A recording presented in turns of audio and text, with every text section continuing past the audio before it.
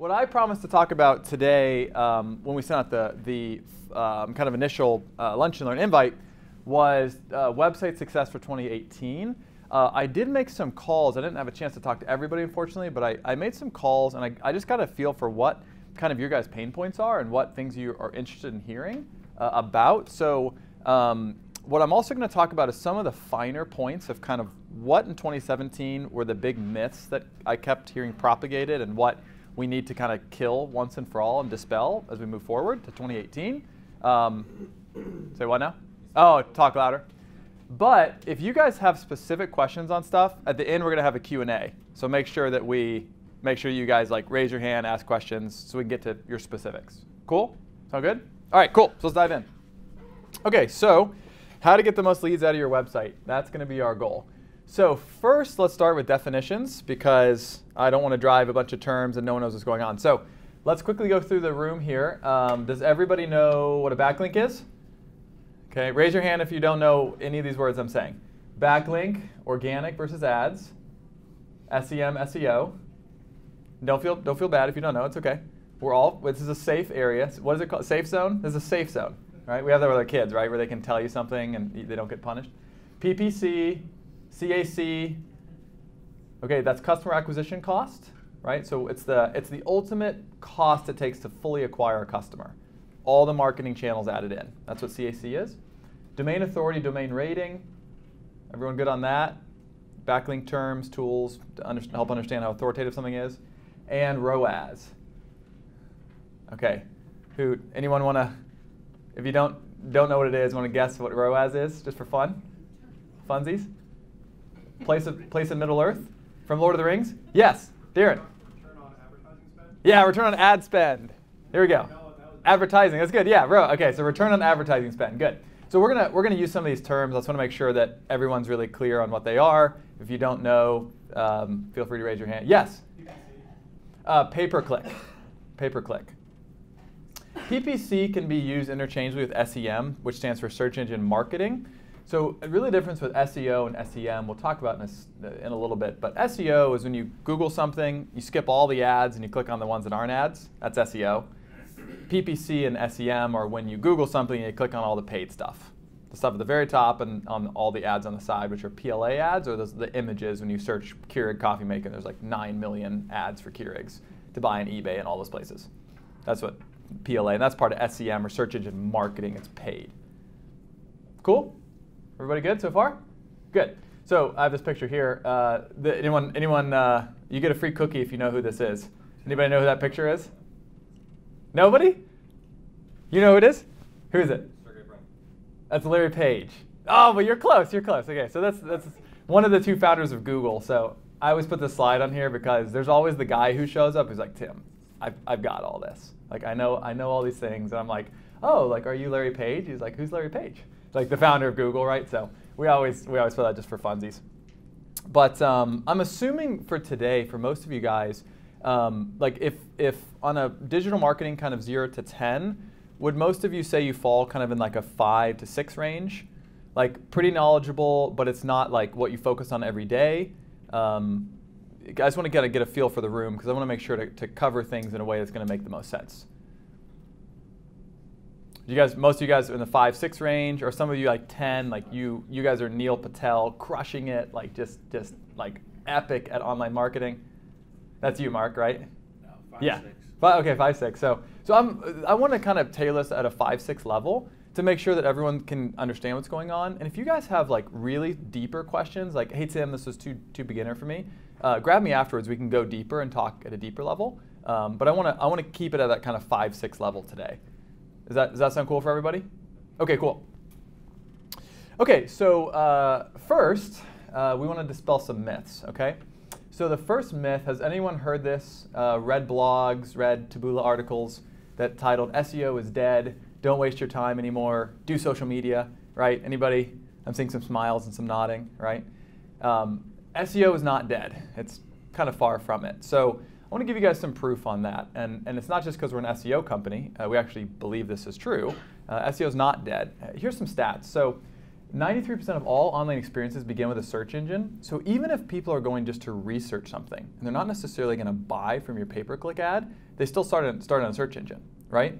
And SEO is that process of being found in a search engine. So doing social is great, doing email is great, trade shows, those things are all fine, but, but SEO at a core level is not dead, nor is it going to be for a long time until the search engines die, right? So until no, people stop using Google and, and Google stops listing companies and products, SEO is not going anywhere. So it's going to be around for a long time.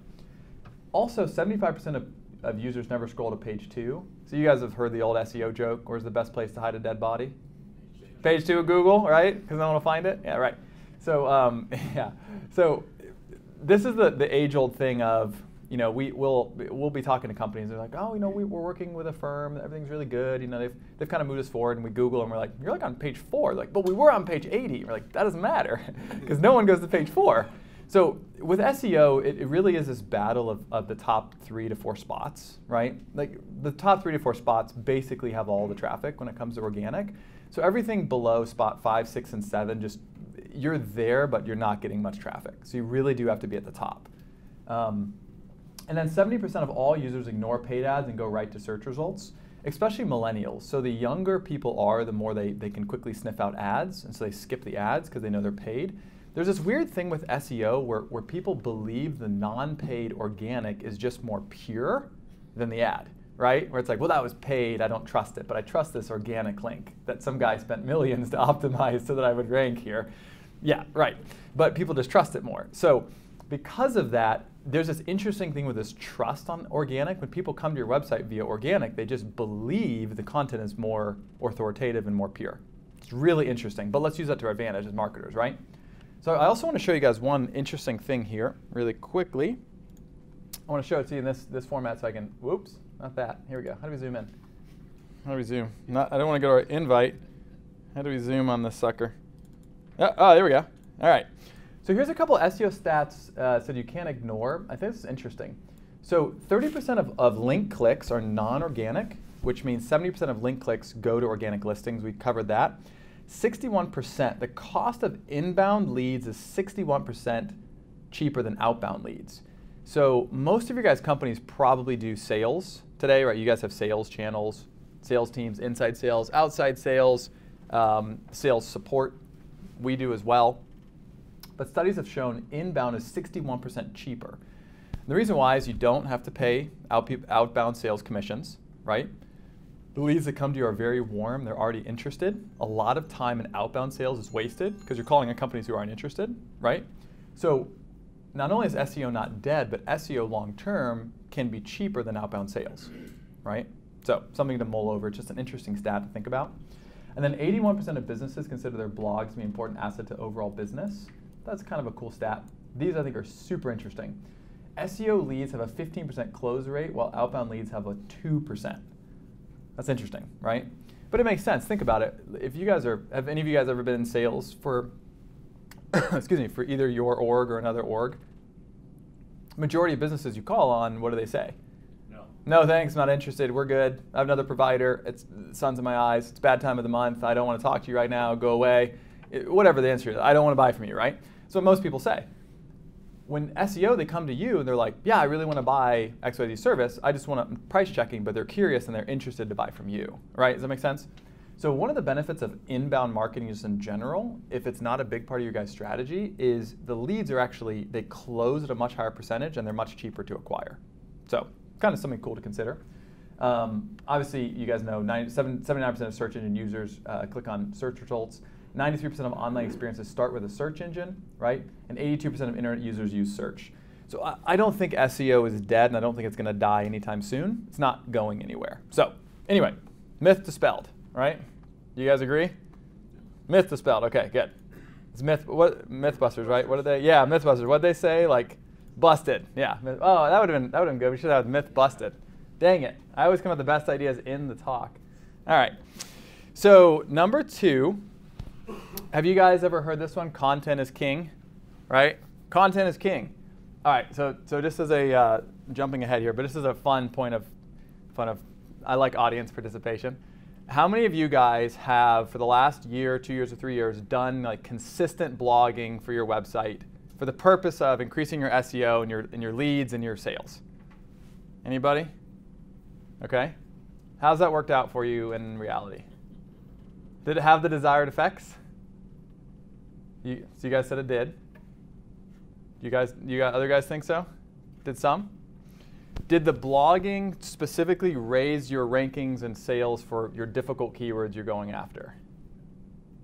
No. And it can't.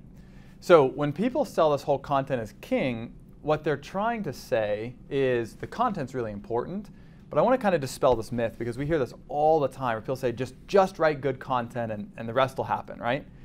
That's like the Silicon Valley myth. Like just build beautiful software and people will like call, they will beat down a path to your door to buy from you. You will be so rich. Investors will swarm you. They'll shake you out of your bed in the middle of the night to give you money, right? It doesn't actually happen in reality. So what happens in digital marketing, content's important, but it's not the most important thing when it comes to SEO and actual traffic and conversions, okay? So we actually make the argument that content is queen and backlinks are king. So where something ranks on the page is going to have a huge impact to the traffic it generates. And if you have average content that gets twice the traffic of your competitors, do you think you're going to convert more customers or less? Much more, because you just have way more traffic, right? If you have a store that doesn't have the best design, but you get 10 times the traffic, you'll probably sell more donuts than the next guy. Organic works the same way. So your traffic shouldn't be terrible, but it's not going to be the driver of, of, of, actual SEO the way most people think it is. What actually works really, really well is backlinks to those to that content, which will drive it up in the rankings, which then gets way more traffic, and then you can actually test and optimize from there. Okay? So the idea of content as king is just at a core level pretty wrong. Okay? Backlinks are king, at least when it comes to SEO. So have you, I guess this is other myth I'm going to bust. This is a blogging strategy for SEO specifically. The reason people do this is because they want, people always hear like, oh, it's really good for SEO to have a lot of content on your website, right? So kind of back to Cornell's example, people are blogging about the most random things like Mondays, National Peanut Butter Association Day, like all these kind of things that are like not helpful. And it doesn't actually improve the relevance of your site for any of the topics you're going for. So it doesn't really do anything. So if, if you guys are just blogging for SEO in general, I would recommend a different approach. That's not going to help you very much. It's much better to write fewer articles and then build links to those pages, and then those are going to rank much more effectively than just creating a lot of content all over the place that's really unfocused. Because blogs without links won't rank. That's just kind of the way it goes. We'll talk more about that in a few minutes. Okay? Um, so the, when I say the truth is more complicated, how something actually ranks and gets traffic in, in, in the search engines is a mixture of three things relevance, backlinks, and ranking factors. So let's take a quick look at that. So I want to show a keyword here that everyone always knows is really competitive, right? We all know how competitive personal injury attorney terms always are. They're always really expensive. They're like 50, 60 bucks a click and or AdWords. So this is like one of the most competitive terms out there. This is Ahrefs, if any of you guys are familiar with it. So a keyword difficulty of 34 is like really high, like really hard in Ahrefs. This is one of the most competitive ones there is. So this gets 16,000 searches a month. This is national, by the way. I just use the United States. Um, and so if you rank to the top for this, you get almost 5,000 hits a month from this individual keyword. So here is a breakdown of the top 10 searches in Google nationally for this term, right? Personal injury attorney. So let's take a look at this. So I actually want to, I'm going to walk over here and we'll talk. Okay, so um, this is where it's going to get interesting and confusing. So if it was just about content, like the website having the most content would make it rank, or the best content, if you guys notice, Wikipedia is number three. What website has more content and better content than Wikipedia? Not very many. So why would Wikipedia rank number three for a term it's obviously relevant for, which is personal injury lawyer? Why would it rank number three if it's literally the most one of the most authoritative sites in the world and has literally the most content? Anybody want to venture a guess? Specificity. Specificity, yep, or, or relevance, right? Anyone else have any ideas? There's free cookies if you get an answer right. so let me throw out an idea. So this one right here, you have FindLaw and you have and you have Justia, right? Look at this one here, which is DR, which stands for domain rating. So domain rating is basically uh, it's a combination of how many links point to that page, and you guys all know what a backlink is, right? It's a link on someone else's website that points to that website. So it's a way in Google of basically saying this website's so good, I'm going to actually link to it on my website. It's an upvote. Is essentially upvoting in social media, right? Where I'm willing to put a link to this other website on my page because it's so good. That's what a backlink is, right? And Google was built on backlinks. That was actually the when they invented Google, that Larry and Sergey were Stanford PhD students, and they actually built this idea of let's create a search engine based on backlinks, not keywords, and it made them billionaires. It was, it was a pretty good research project. But um, so DR, domain rating, is basically this measurement of how many links are pointing to your site and how powerful are those links. Okay? So Wikipedia has an 88, which is real good. It's gooder than 73, right? So this is higher. This URL rating says how, how good is that individual URL. It only has 430 backlinks. This has 2,821 pointing to this individual page, but yet it still ranks above it. So it's not just backlinks, it's also relevance. So what Google is looking at here is they're saying, well, FindLaw is literally only about lawyers. That's all it's about, personal injury attorneys. Wikipedia is one of the best websites in the world, so we're going to put them up here because they're really good. But you're not totally about lawyers, and we know it because you're also about a lot of other stuff, and we know that too. So we're going to put you here at three. But we, you should be on the page. Justia, you guys are you guys are a little bit lower. You've got a you're also just about lawyers, but your domain rating's a 70, so you're a little bit less relevant. You have 156 backlinks versus 430, so you're a little bit less authoritative, but you're also more relevant than Wikipedia for this term, so we're going to put you number two. You guys see where we're going with this? And then on, and it goes down here. So I put these guys on here, Cellino and Barnes. These guys are in New York City only. How did they get on this list? They're like ranking nationally. Look at this thing right here. It's AR, which is basically a ranking of how quickly they're building links, how, how well they're building links to their website. A 1.6 million. They're like crushing all these other ones, like way more. And the reason they got on here is because while their DR and, and UR are not nearly as good, or in their amount of links, they're building links at such a fast rate for this term that Google's like, these guys must be doing something. They must have a really relevant and authoritative website. We should probably put them up here. That's why they're, that's why they're going up. So what it really takes to rank for keywords in 2018 is not just content. So it's not just, oh, write this perfect content and then put it on your website and magically you'll rank and traffic and you'll, it'll convert. That's not going to work. It's also not, hey, just spam a ton of backlinks to all your stuff that you buy on Fiverr. Please, by the way, don't ever do that. That'll get you banned. But just put a bunch of backlinks to your website. That also doesn't work. It's a combination of all three. The ranking factors, so things like title tags, meta descriptions, headers, stuff you guys have heard before, the standard on-page white hat stuff, how many links you get, and how relevant your site is for those terms. You got to balance all three of those. So going into 2018, that's what Google is really focused on, is not being able to just focus on one piece and do it well. You've got to really focus on making your site as relevant for the term you want to go for as possible, building great links that are also relevant for that term, and writing content that is helpful to your users and relevant for that term.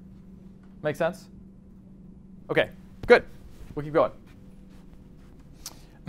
All right, so I promised we'd talk about kind of lead maximization and how to, how to maximize leads. Um, so let's do that now.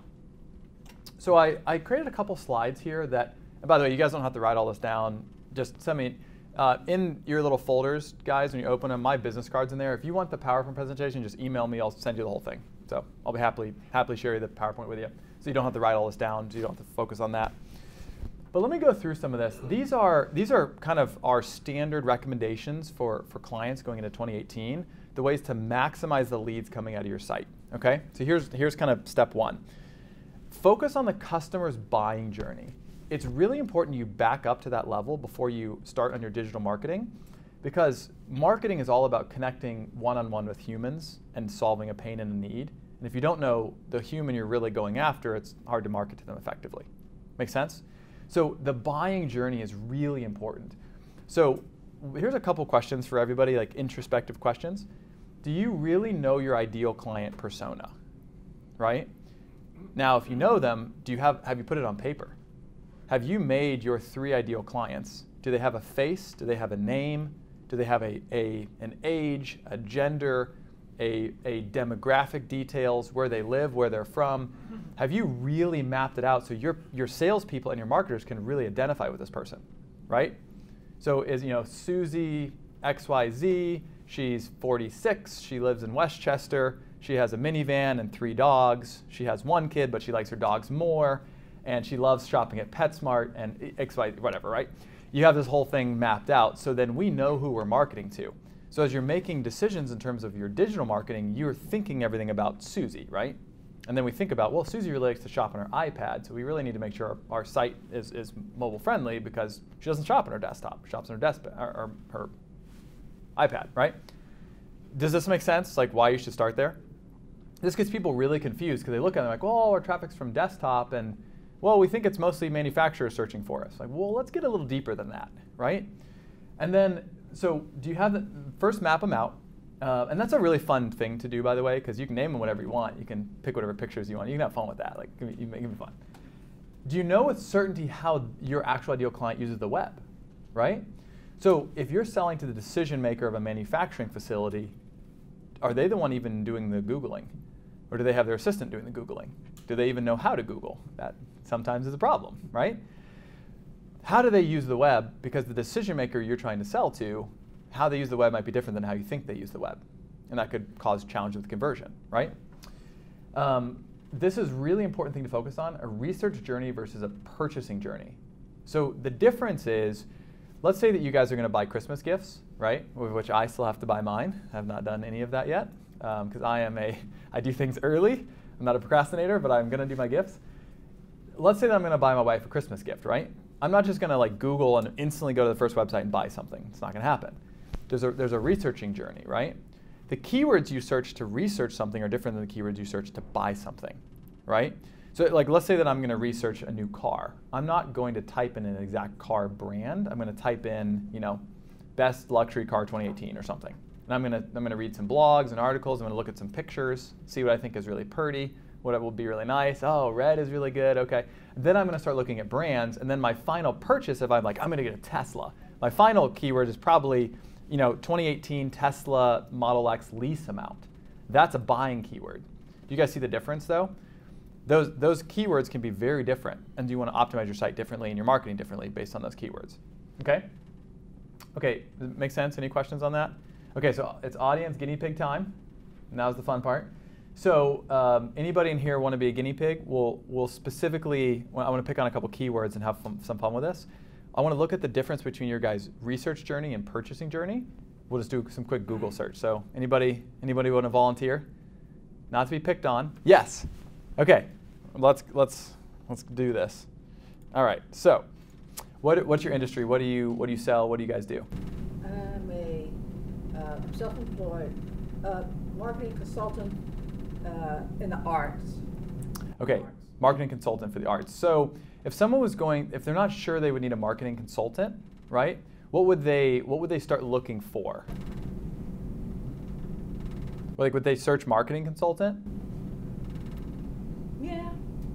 Well, they might. Well, depends on how knowledgeable they are. Uh, That's definitely true. well, marketing consultant for a art museum. Okay. So let's um, let's first do this. So let's just do something broad. Yeah. Marketing consult. If I could type and spell here, consultants. It's hard to type while staring down. All right. So if we look at marketing consultants, what's going to come up is a bunch of companies wanting to sell marketing services and all that, right? So this is going. Someone's going to search here and say, okay, here's all these. Here's all these groups. Okay, here's all these different websites. They're all selling me the same thing. Is this really what I'm looking for? Okay, this is part of their journey. They're like, no, I, I really want to say. You said for a museum, for an art museum. Yes. Then they come back like, no, that's not what we're looking for. So then they say for art museum, museum. Okay. Oh, did I misspell it? Oh, E U M. So they come back and say, okay, now we want this one. Well, KPMG, no, probably not that. IBM, definitely not that. Oh, here's Art Zealous. So now they come and they look for these, they start to come to some of these websites. They go there, they learn, and then they figure out, oh, the term I really want is like expert art museum marketing, you know, whatever. And their search term gets longer and more specific, fewer searches and more competitive. And then you find out that's the journey. Does that make sense? So let's, we'll take this exact one here. It sure would be nice if you had pages on your site that were optimized for each of these different journeys in the process so that along the way you could get them to your site every time. So when they Google just marketing consultant, oh, they found your website and then it said, hey, what kind of marketing consultant are you looking for? If you need an SEO consultant, go here. If you need PPC, go here. If you need art museum, go here, right? That's us. And then as you as they get more and more specific, do you guys get where I'm going with this? So you can help guide the person online through their journey as opposed to just letting fate happen and let them find your competitors. Okay? So this is part of that, that research versus buying journey, trying to get them along the path. Okay, so for sake of time, I'm going to keep moving, but um, if you guys have other questions on that, we can talk later. But it's really important to break down the researching versus buying journey because that the research is where you build the trust and the relationship. The buying is where you actually make the sale, but the better you can do at building the, the relationship in the front end, the, the, the easier the sale is. Okay, the second thing I would really recommend you guys focus on is, is CRO, or conversion rate optimization. So the basic idea of CRO is trying to remove any friction to conversion, okay? So when they come to your website, is it super easy for them to know where to find your contact info? Is your website at the very top, or is your, is your phone number at the very top in, in bold, easily clickable, right? Is your contact form easily reachable? Contact page is easy to find at the top of your site on the bottom of your site, follows them everywhere. One of the biggest challenges contact forms, you guys probably know this, three blanks is the optimal size. Every blank above three spots on a contact form decreases conversion by 50%, right? So that's bad. So every blank, so on a contact form, right? So it says contact us, name, email, phone, zip code, country, city of ethnicity, blood type, and all these things you have to fill out, they're all required. Every blank after three decreases conversion by 50%.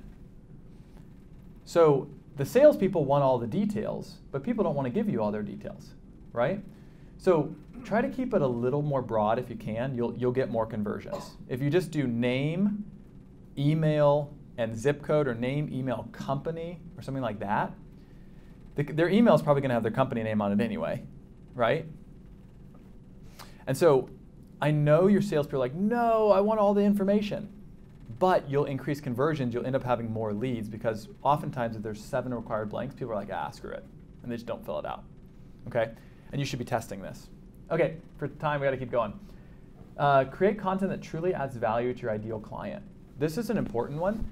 When you're writing content for 2018, we really recommend give your client what they would pay you for, but give it to them for free we believe in this, right? So we could charge for this lunch and learn, but we don't because we don't want to. We want to give it away for free because we want to help people.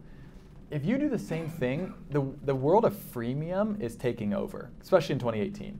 Companies that give things away for free that have value will build trust and loyalty. And you guys can do the same thing with your clients and with your prospects by giving them information that they would pay for for free.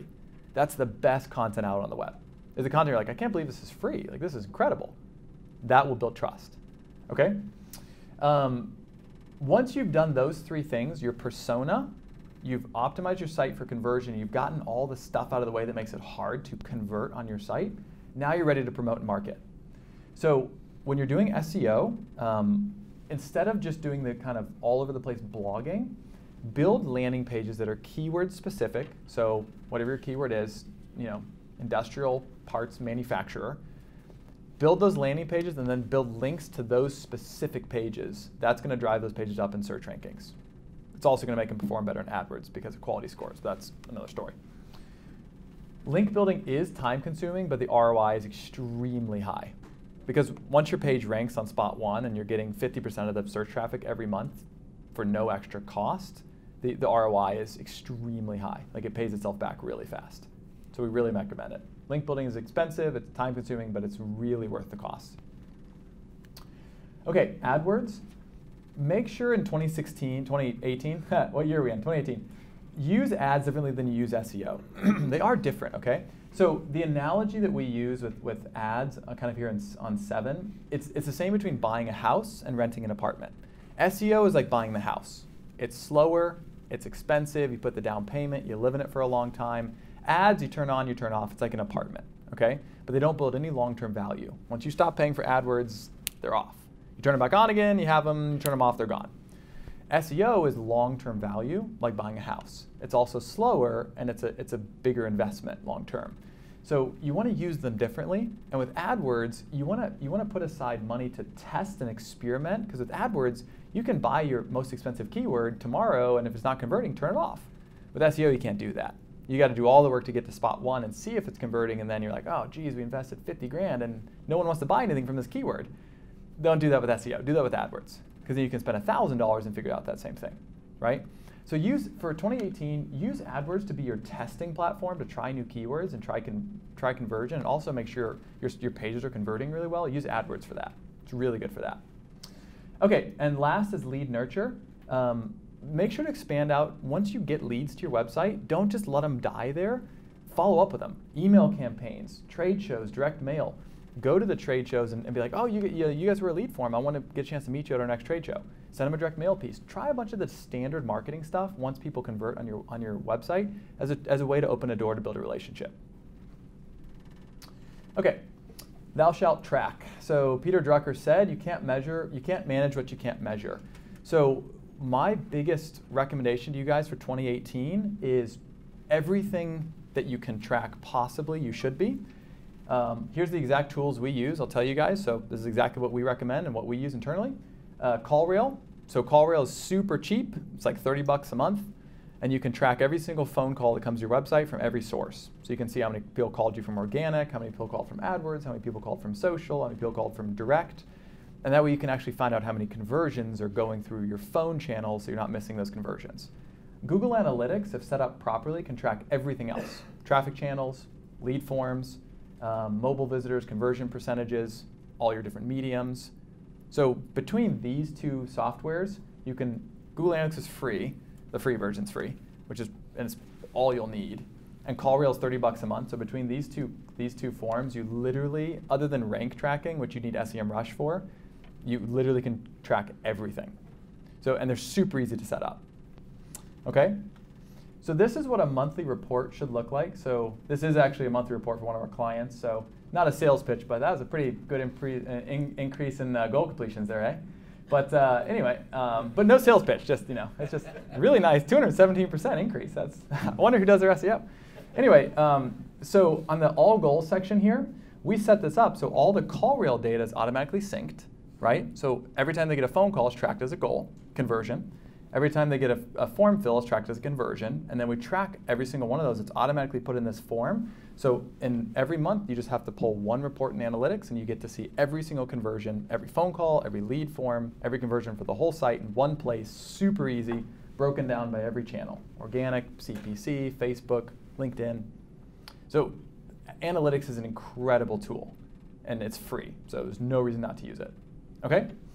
Last thing, here's some tools that we use that I'm recommending. If you guys just, you know, we're, we're not like resellers. I guess we're resellers for SEMrush, but you know, we don't have any special discounts or anything. These are tools that we use internally, so thought you guys might like to see this. AdWords, huge. CallRail, great. Longtail Pro is really good for keyword research. Ahrefs is really good for link building and any type of link research for SEO. Google Analytics, and then SEMrush is really good for competitive research. So if you want to dig under the hood and find out what your, your competitors are doing, like everything on their website, SEMrush is awesome for that. It's like literally reading their mail, but it's legal. It's pretty sweet. Okay, so um, Q&A time. So we got a couple minutes left. Thanks. I, I know we, we started a couple minutes late. So um, I want to open it up for some Q&A for either for me or Cornell or anything. So who's got questions? Yes. I do. This may be for after. Okay. But can you speak at all to uh, business in China? Good question. So, do you mean using Baidu versus Google? Correct. Just just the whole concept of SEO in China and language differences and all that good stuff. That's a so the, the question was um, SEO in China. So I'll be honest, I don't know much about that. I'll be straight up. Google doesn't operate in China anymore. They pulled out. So now there's Baidu, which is Yandex is the big one in Russia and Baidu is the big one in China. I'm not a Baidu expert and I don't speak Chinese or Mandarin, so I, I don't know a lot about it. Uh, so I, I'm going to have to respectfully say I don't know. But I think Mark knows. Okay. They're, they're global, so he probably knows better than I do. Yeah. Great question. Who else has questions? Yeah, that, that's a good question. I don't know. I don't know anything about SEO in China. Yes. Um, can you talk a little bit more about um, once you identify your buyer persona, Yes. how do you guide them through the research journey versus the purchasing journey? Uh, is that through content that you specifically geared towards those respective cases, or how do you? Great question. So, and what was your name?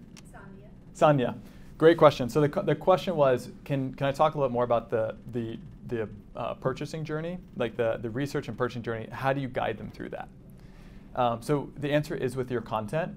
So when you think about your ideal persona, um, what do you guys sell? What's your, what's your service or product? We're actually a marketing process outsourcing company. Okay. So content marketing and digital marketing. Oh, interesting. Yeah, is, uh, a couple of our offerings. I do the content marketing part of it. Okay. Uh, but I'm interested in learning more about how that meshes with uh, SEO Yeah, good question. So, so let's say you, let, let's say you guys sell content marketing. Let's make it simple, right? So, what I would recommend for you specifically is figure out who buys the content marketing, right? Is it the is it the agency owner? Is it the internal in-house marketing manager? Is it the content? Is it the marketing coordinator? Who's the going to be the ultimate internal champion who brings you in, right? And then what is their journey? What's the first keyword they search for? Try to figure that one out. And usually people search the shorter keyword first, the more broad one or two word phrases, because they don't know. And then as they start to realize, they get longer, more detailed searches. So I guess my easy answer is like, let's say yours is like content marketing is like the first one people start with. Maybe you can't win for that one because it's too competitive, but you could buy ads for that. You could buy the top ad for like content marketing and then say like looking to buy content marketing, come here. And then they come to your page and your page can be an explanation of do you have problem A, B, and C? If so, here's how we can help you. If you have problem D, D, E, and F, we're not your team, but you need this. So if you give them a lot of value, like if they were to talk to a sales rep, but just give it to them for free, that could be really helpful. Or if you had like an infographic that would explain to them like their process of how they should look to bring in content marketing, why they should do it, some like something that would be really educational in nature could really help.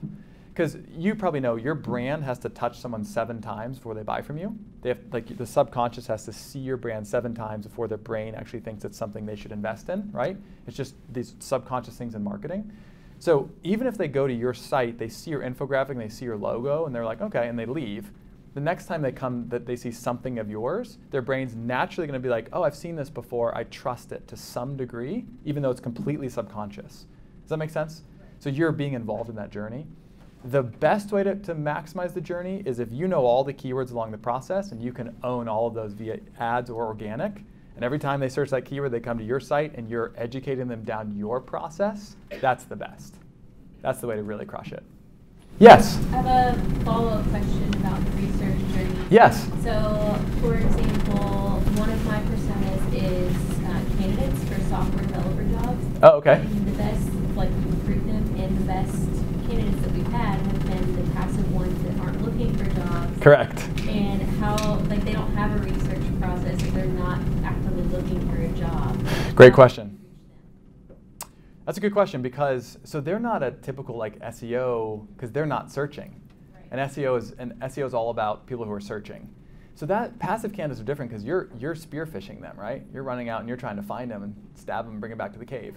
So it's Also, go copy, like, that's right. They don't come to the cave on their own, right? You got to go find them. So that's a little bit. That's a good question. Um, here's what you could do: is if you find something they're interested in, like let's say they're going to GitHub to look at like you know new AI coding trends, you could write articles about that and then say, "Are you interested in working on the latest tech? Come check out what we're doing." Does that make sense? So you could you could write things that they're going to read on their own that they're interested in, like a Taboola article kind of thing, and then have your pitch at the bottom. Now they might ignore it because they're like, "Oh, I'm not looking," but you could get your logo in front of them, right? Like they go back to that same thing of they're like, oh, you know, who do you work for? Calibrity. So they're like, oh, I've seen Calibrity. Uh, that's interesting. And then when your when your recruiter reaches out and says like, oh, hey, we have this ex- awesome job for you at dunnhumby, they're like, oh, I've heard of Calibrity. Does that make sense? That's probably the best you can do if they're not actively searching because then they're not really looking for something using the web. That's a great question. Does that answer your question though? Cool. Okay, one last question, and then I, I want to make sure we're good on time. Anyone have that last burning desire? Need it? Yes, Darren. I saw an opportunity. Um, leveraging video and optimizing video for, uh, for SEO. Great question. So, um, as you guys know, video is declining massively. No one uses video in the future. Uh, oh, sorry, Darren. I've, I've offended. Yeah. Throw it out. Yeah. So, uh, smartphones. Uh, this is not known yet, but I talked to Steve Jobs a couple weeks ago, and he said they're going to get rid of cameras on smartphones. No one uses them anymore.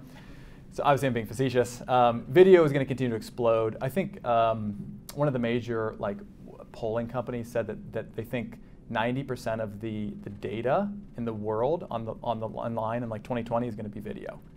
Like literally, video data is going to eat the entire world. So all of like companies are going to become huge data centers for video as everyone's streaming literally everything.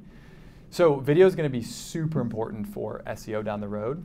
Um, we didn't talk about video optimization here in detail, but if you guys are not doing video, you need to be. Video is critical. And where video is really important is for building relationships with people where they can't build a relationship with your content the way they can with your video. So building video is really important for that. Optimizing video, so YouTube, does anyone know YouTube is the second largest search engine next to Google? It's also owned by Google. So when you optimize YouTube videos, they rank really well on Google because Google owns them, so they prioritize their own stuff. Here's a cool tip for you guys. You may not know this. If you build a, a, video, so this could go back to your recruiting recruiting question. If you build a YouTube video and optimize it for whatever term you want, you can literally build links to that video as fast as you want. Google will never penalize it ever because it's their own site, and it will rank extremely quickly. So that's just a little hint for you guys if you ever want to rank for any term ultra fast, use a, use a YouTube video. So you can even use that to rank for any competitive term, right? You want to rank for personal injury attorney, you know, have your corporate video, optimize, uh, go into the uh, YouTube, optimize it for personal injury attorney, build links to that page. It'll rank in the top three spots in, in several months. It'll rank very quickly because YouTube has such good SEO factors as a core structure. So YouTube is really important, and anytime you build videos, put them on YouTube so you can market them, and then you can and do the same thing on the YouTube video you would on your uh, organic page. Titles, meta descriptions, fill out the content, put your keyword in there, and build links to those pages. Do the exact same thing. Does that answer your question? Yes, thank you. Yes. Does embedding the YouTube video within your page have any impact on SEO if you're SEOing the video on YouTube and Good question. So there's this little trick when you when Google indexes videos significantly faster than the index text. So when you embed a, a YouTube video, it's a, Google will reindex your Paul. What is it? They'll reindex your page. Like when you when you put a YouTube video in a page, how fast do they reindex it? It could be like an hour or so. Like it's fast. If you have a sitemap that you a video sitemap, yeah, I mean they get like an hour. Yeah. So you guys probably know, like, like let's say you build a, a new uh, page on your website. Google's index can sometimes take weeks to pick up that new page, and like, like it can take months to rank it. A, a, a trick you can use is Google indexes videos extremely quickly. I don't know why, but they do. So if you put a video on a page and then republish that page, go back to Search Console and submit the sitemap, that page can be ranking within like a couple days. It'll, it'll literally get reindexed in like an hour, just because it has a YouTube video in it. I don't know why they do that, but they do. So that can help SEO factors and get can get the page ranking a lot quicker.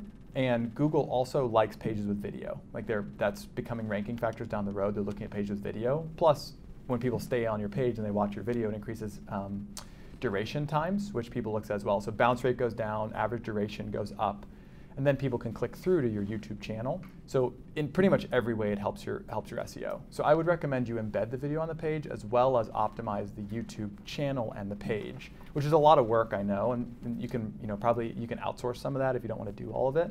There are like video optimization teams and stuff, but that would be the best option. Plus, people can search the YouTube for the video as well, and it'll get a bunch of views. Great questions. Well, I'm officially going to wrap us up because I know some people have to leave. I'll be, we'll stick around. Our team will be around for, for the next, you know, 30, 40 minutes. if you guys have questions. Thank you so much for attending. Was was this helpful? Did everyone have a good time? Okay, great.